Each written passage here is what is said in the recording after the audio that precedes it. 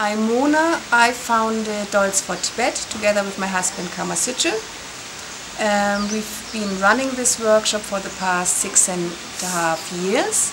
Um, Dolls for Tibet is a small-scale enterprise which abides to fair trade principles, aim to empower um, women of our Dharamsala Tibetan refugee community and the local Indian village women. Uh, we're training our artisans in the unique art of doll making and try to provide work opportunities which are flexible and take into consideration the specific needs of women.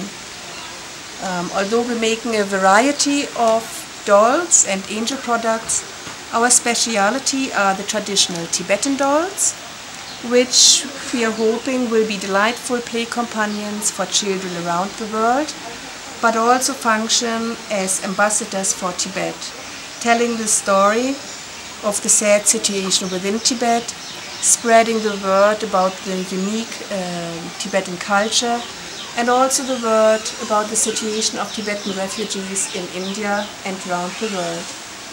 Within our project, we have started a Donate a Doll program, which allows people to offer donations towards the making of dolls which we then hand over to the various uh, Tibetan kindergartens and primary schools across India.